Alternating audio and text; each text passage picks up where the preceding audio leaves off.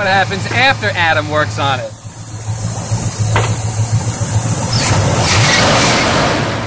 Thank you very much.